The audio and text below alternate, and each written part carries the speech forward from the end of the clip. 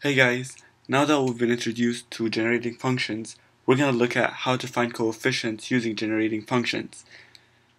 So what we know so far about combinations is that n choose r is equal to n factorial divided by r factorial times n minus r factorial. This is without repetition, and with repetition it's just n plus r minus 1 choose r, which is equal to n plus r minus 1 factorial divided by r factorial times n minus 1 factorial. Okay, so what if n is negative? So what if we have negative n choose r? Well, that has a whole new formula for it, but it's using the same expansion as what we have here. Alright, so let's go ahead and expand it. Alright, so we have negative n choose r. Well, that is going to be equal to negative n factorial divided by r factorial times negative n negative r factorial.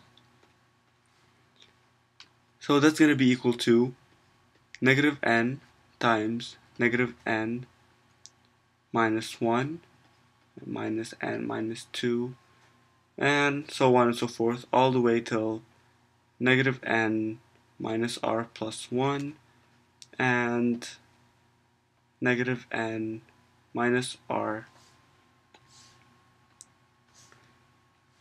so minus r factorial or factorial. And that's going to be divided by r factorial times negative n minus r factorial Alright, so those two terms are going to cancel out. Yeah. And that's, that's going to leave us with negative n all the way to minus n minus r plus 1 divided by r factorial. Alright, so if you factor out a 1 from all of them, we're going to be left with, so if we take minus 1 to the power of r, and that's going to leave us with n n plus 1, n plus 2, and so on, all the way till n plus r minus 1. And that's going to be divided by r factorial.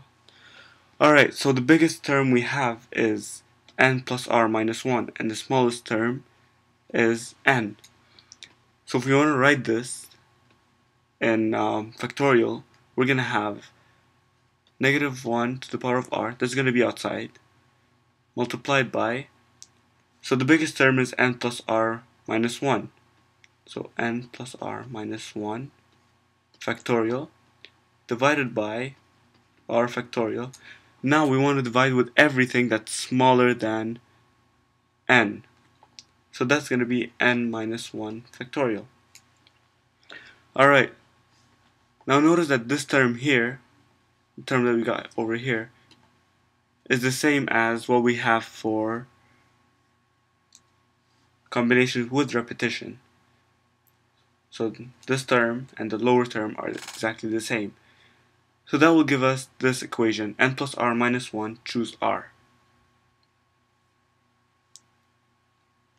So that's going to be equal to negative 1, choose r, uh, sorry, negative 1 to the power of r, multiplied by n plus r minus 1 choose r.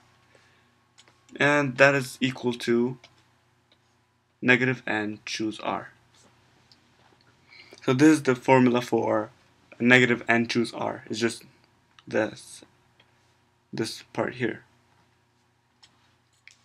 Alright so here we have power series and that's just a, a group of generating functions that will transform into series and we'll see how the uh, how you can translate from one to another.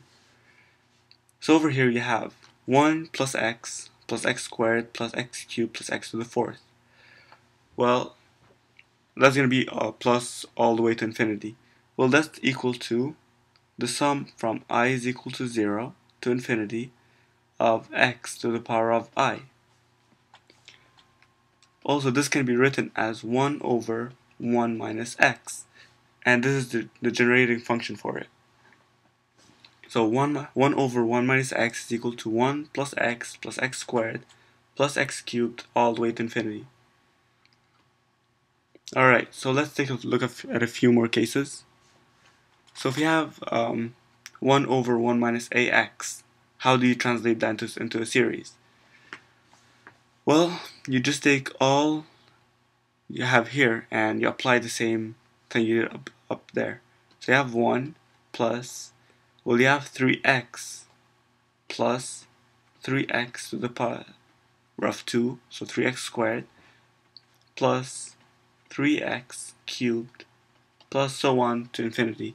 So you just take this term here and keep multiplying it and sorry you keep adding them and every time you add you just increase the power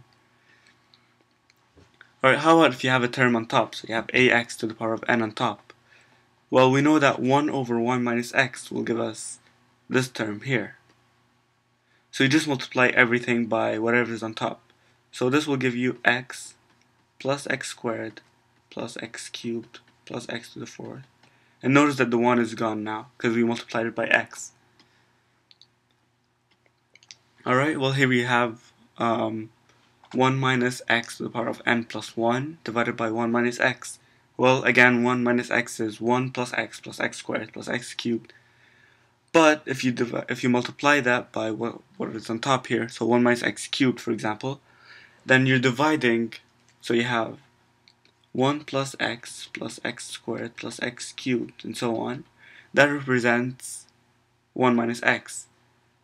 So if you multiply by 1 minus x cubed, that will go at the bottom here and that will divide by everything greater than x cubed. So everything after x squared will be cancelled out.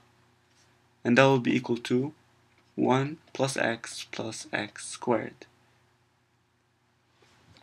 So if you have a term on top or you want to stop somewhere then you just multiply by n plus 1 so you want to stop at 2 you multiply by 1 minus x to the power of 3.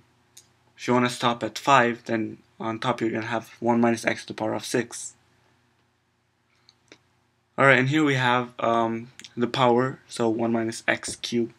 Again, just throw whatever you have in here. So you'll have 1 plus x cubed plus x cubed squared plus x cubed cubed and so on and so forth. Alright, in the last case we have 1 plus x to the power of n, which is the binomial theorem, is equal to n choose 0 plus n choose 1 times x times n plus n choose 2 x squared all the way till n choose n to the power of x to the power of n. And likewise for um, 1 plus ax to the power of m, so everything to the power of n, you just take the term in here and you keep on throwing it in front of the m's or the combination here. So n choose 0 and over here is just to, to the power of 0 that's equal to 1 so over here is just to the power of 0 so you don't really need to write it. And then you have n choose 1 to the power of a to the power of 1 times x to the power of m since n is 1 and so on all the way till a to the power of n times x to the power of nm. Alright, so what if you have a negative n? So what if you have 1 plus x to the negative n or 1 minus x to the power of negative n? Well, they're both exactly the same. So imagine this as being equal to 1 over 1 plus x to the power of n. Alright, so if you expand this, you should get negative n choose 0 plus negative n choose 1 times x plus negative n choose 2 times x squared.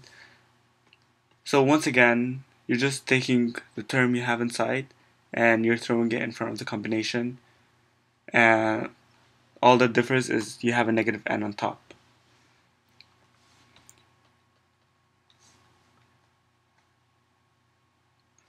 Alright, and this can be simplified to the sum from i is equal to 0 to infinity of negative 1 to the power of i times n plus i minus 1 choose i.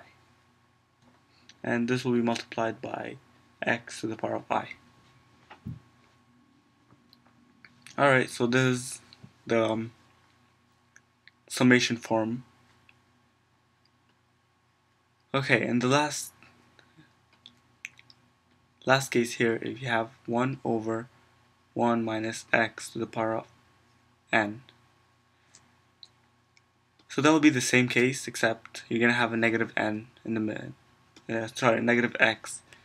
So plus negative n, choose 1 times minus x plus negative n choose 2 times negative x everything squared. And that will also go for forever. Alright so now we covered all the cases we have. And in the next video I'll do some examples of uh, how to find coefficients. So stay tuned. See you in the next video